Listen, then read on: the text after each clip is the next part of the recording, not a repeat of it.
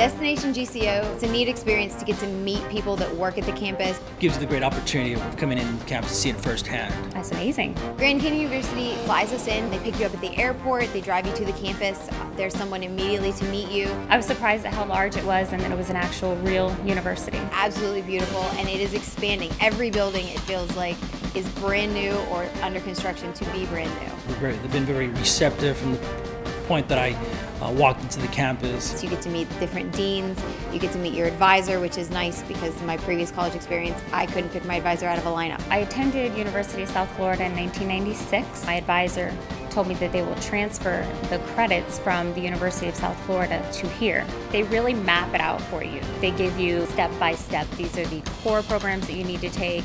We've already prepared a class schedule for you. Now, having gone through Destination GCU, taking online classes, you feel more incorporated into the campus, like you're actually part of the university instead of just an online student. I know this is a good fit for me, getting to meet everybody and see the campus. It's a perfect spot for my education to continue it. It's really made it easier uh, for me to decide. I've decided that this is this is the place for me. If you get the opportunity to take part in Destination GCU, I recommend everyone does. It's an awesome experience.